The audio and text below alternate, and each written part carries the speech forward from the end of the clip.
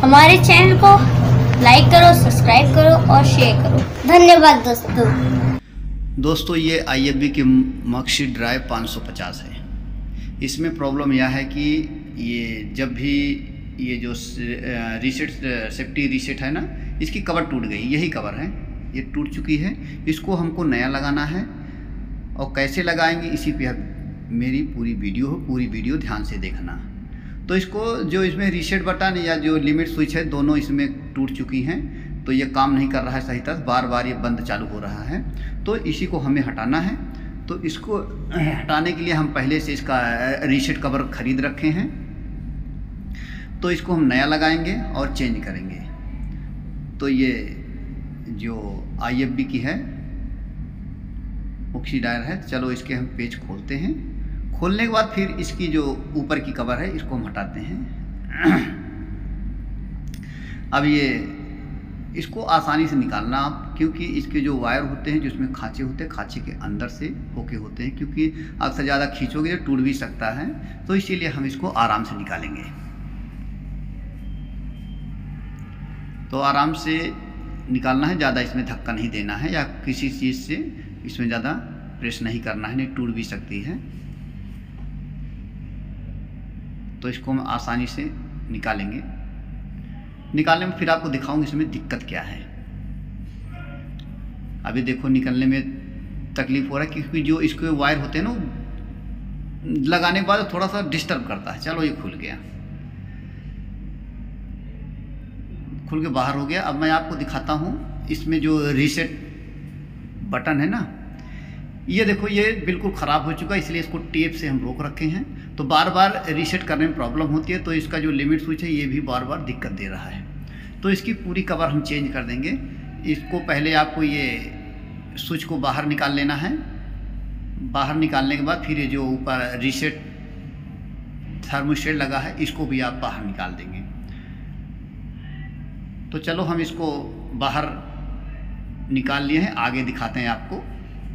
तो ये पूरा क्लियर हो चुका है, ये देखो जला हुआ है, यहीं से जला था, और, जब ये थर्मोस्टेट इसमें बैठता नहीं, ये निकल निकल जाता बार बार जब ये कभी बार रीसेट का काम पड़ता था तो रीसेट नहीं होती तो फिर इसे बार बार खोलना पड़ता था तो हम इस कवर को ही हटा देंगे।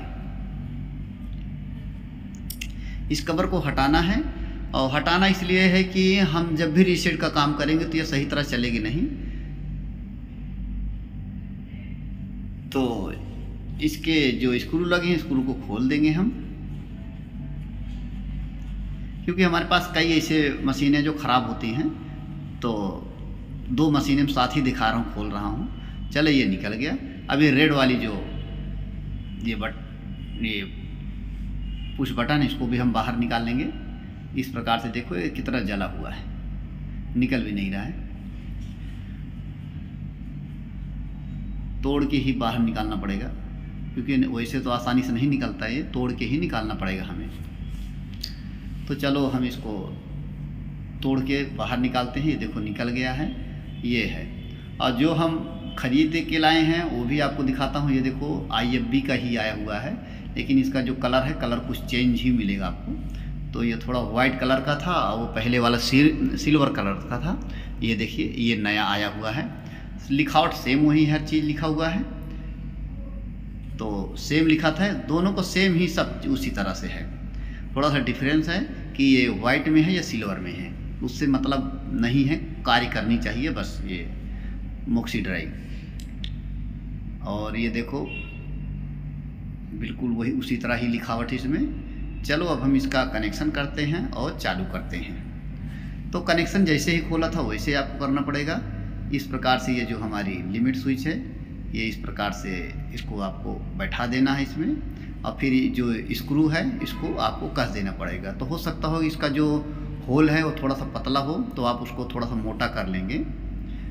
ज़्यादा मोटा नहीं, ये पेज फ्री हो जाएगा। तो हम इसको पहले से ही थोड़ा सा मोटा कर दिए ताकि ये हमारा जो पेज है पेज आसानी से इसमें घुस जाए। तो ये आसानी से पेज इसमें घुस गया है।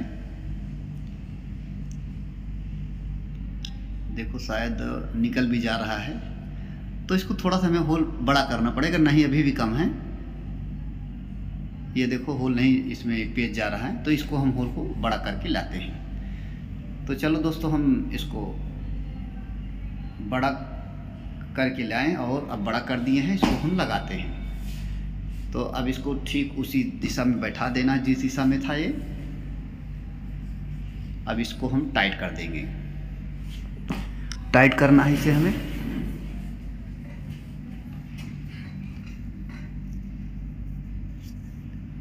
पेज को आराम से बैठाना है हमें। जल्दबाजी नहीं करनी है, जल्दबाजी से टूट भी सकता है तो ये नहीं करना है हमें। तो चलो हम इसको टाइट कर देते हैं और ये अच्छी तरह से इसको कसना है। ये भी ध्यान देना, कसने के साथ साथ ये भी ध्यान देना कि नीचे जो इसकी पत्ती है, जो ऑन ऑफ़ करती है, वो ठीक तरह से होनी चाहिए। अब ये हम स्प्रिंग है, ये स्प्रिंग हमारा मोटर का है कार्बन है, इसमें स्प्रिंग गिर गई थी तो हम इसी का जुगाड़ बना के इसमें लगा देंगे ताकि जो प्रेस बटन है ना, वो अच्छी तरह से पुश हो।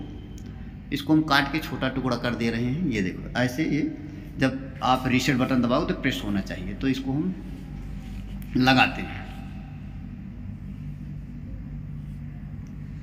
तो चलिए, अब हम इसको लगाते हैं। देखो थर्मोस्टेट लगा देते हैं। ये थर्मोस्टेट का काम ही है जब या ओवरलोड हो, या कोई प्रकार की अगर दिक्कत होती है, ज़्यादा ओवरलोड होता है हीटर या कहीं होता तो ये उस लाइन को बंद कर देता, पूरे डायर को ही खड़ा कर देता ट्रिप कर देता है। डायर कार्य नहीं करेगा। तो इसको हम बैठाते हैं, लेकिन इसमें ये देखना पड़ेगा ना, बैठाने के साथ साथ ये भी देखोगे जो रेड वाली बटन, उसमें खांचा कटा हो तो उस खांचे को और इसके अंदर के खांचे को मिलाना, नहीं, ये बहुत टाइट होगा। अभी हमने तो लगा दिया है लेकिन ये बहुत टाइट है। इसको हम बाहर निकाल देंगे और फिर से हमें लगाना पड़ेगा। इस चीज़ को आपको ध्यान देना पड़ेगा। इस, जब ये रेड वाली बटन इसमें डालोगे ना तो इसको खांचे, दो खांचे खांचे के सेंटर में मिला के डालना है आपको। अब इसको देखो हम, ध्यान लगा दे। देखो आसानी से प्रेस हो रहा है ये दबा दब हो रहा है प्रेस तो ऐसे ही आपको करना है। ये आसानी से प्रेस होना चाहिए इस चीज़ को आपको ध्यान देना पड़ेगा। और ये ठीक तरह से लग चुका है। देखिए कितना बढ़िया प्रेस हो रहा है। बढ़िया से इसको बैठा देना है। लूज नहीं होना चाहिए। जो चीज़ कभी भी कोई चीज़ ख़राब होता है तो लूजिंग के कारण ही ख़राब होता है। इस चीज़ को आपको ध्यान देना पड़ेगा। किसी तरह से लूज नहीं होना चाहिए। देखिए, अभी जो हमने लगाया था, लूज नहीं होना चाहिए। इस चीज़ को आपको ध्यान देना पड़ेगा। तो लूजिंग नहीं है, लेकिन इसका जो बार बार निकलता था ना स्प्रिंग स्प्रिंग थोड़ा सा हार्ड थी तो हम उसी स्प्रिंग को फिर से चेंज कर दिए हैं। ज़्यादा हार्ड थी तो इसको हम छोटा, और छोटा कर दिए हैं। तो अब हम फिर इसको बैठाते हैं। ये देखो, बैठ गई। अब देखो, प्रेस हो रही है। यही प्रेस करना है आसानी से। देखो, सही तरह से प्रेस हो रही है।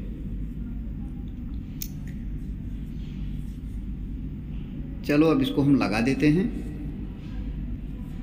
पहले नीचे वाला वायर अंदर डालेंगे, फिर इसको थोड़ा सा मोड़ना है। इतना नहीं मोड़ना है कि ये टूट जाए। आराम से इसको मोड़ के फिर उसी स्थान पे इसको बैठा देना है।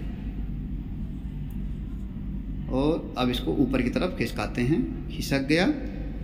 ये ध्यान देना कि इसके नीचे तार नहीं दबना चाहिए और हम फिर स्क्रू से इसे टाइट करते हैं। तो दोस्तों, हम आपके लिए ऐसी ऐसी वीडियो बनाते रहते हैं। एनी टाइम वीडियो बनाते हैं नई नई जानकारी देते हैं। तो आप लोग ज़्यादा से ज़्यादा हमारी वीडियो को शेयर करा करें। तो ताकि हमारा भी कमेंट ज़रूर करें अगर वीडियो अच्छी लगे ताकि हमारा भी मनोबल बढ़े कि हाँ लोग देखते हैं कमेंट करते हैं, सही। अब चलिए, ये कंप्लीट हो चुका है। पावर को ऑन करते हैं और गेट को बंद करते हैं, फिर इसको चेक करते हैं। देखो, बिल्कुल सही चल रहा है। फिर हम एक बार गेट खोलते हैं चेक कर लेते हैं। हाँ ये देखो ड्रम बंद हो रहा है। फिर हम चालू करते हैं। तो बिल्कुल सही तरह से कार्य कर रहा है। फिर खोलते हैं, बिल्कुल एकदम एक्यूरेट काम कर रहा है। तो दोस्तों, वीडियो देखने के लिए आपको बहुत बहुत धन्यवाद। हम आपसे फिर मिलेंगे एक नई वीडियो के साथ।